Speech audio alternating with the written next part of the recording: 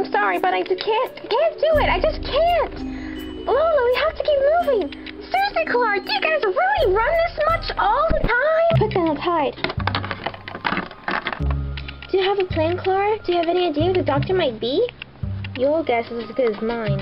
See, what was it? What was it? I read it today.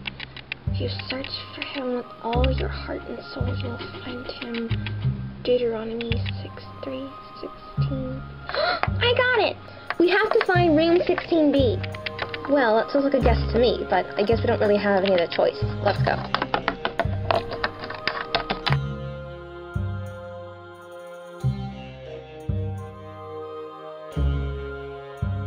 Doctor, come try to fool me again, have you?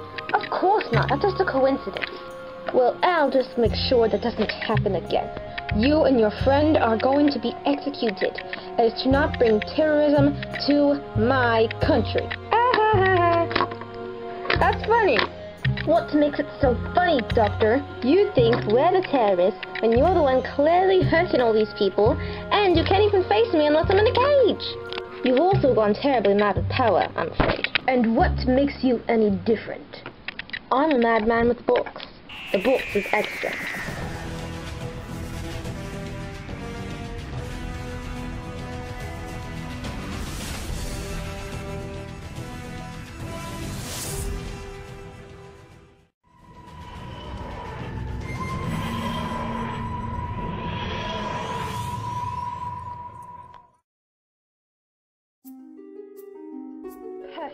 Now what? I have a plan. I'll cause a distraction, and then you do the sonic screwdriver to the doctor. Alright, sounds like a plan to me. Hey, Hitler! I think you lost something. What? World War II! Ah, Doctor, catch! Ah, seize them!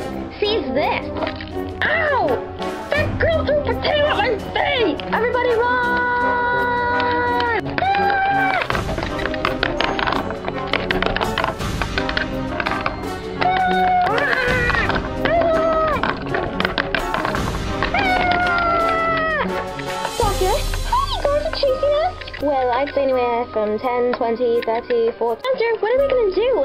And did you just like mess up the whole timeline of historical events or something? Please, like, explain something to me. Like, what's going on? Doctor, you better start explaining everything in the fast-paced way you do right now. There's no time to explain. You have to go right now. Wait, why is there no time to explain? I'd explain, but there's no time. I get it, I get it. That's TARDIS!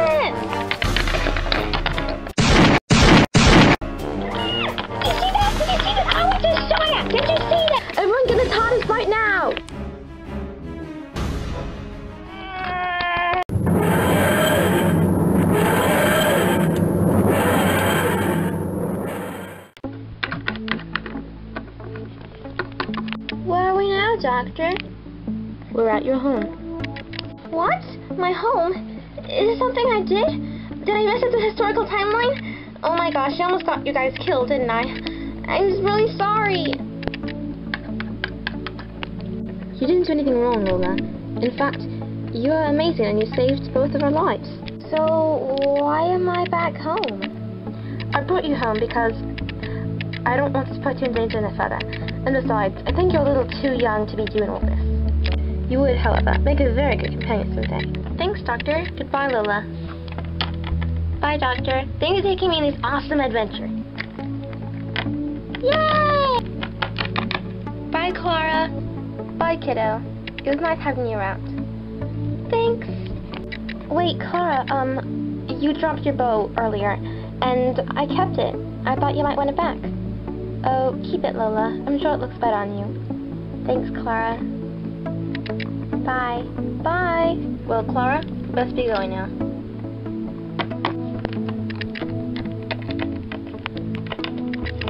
Wait, will I ever see you again? Do you think I could be your companion someday? We'll see. We'll see. Yes, I have a chance! Bye, guys. Bye!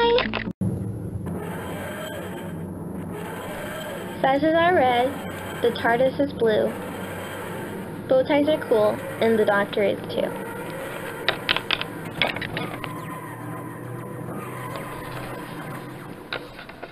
Mom, I'm back from my adventure to time and space! What are you talking about, sweetie? You went outside and came right back in.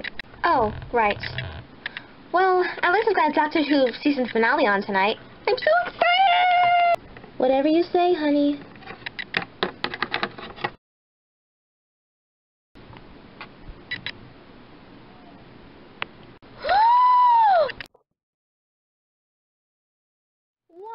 just happened?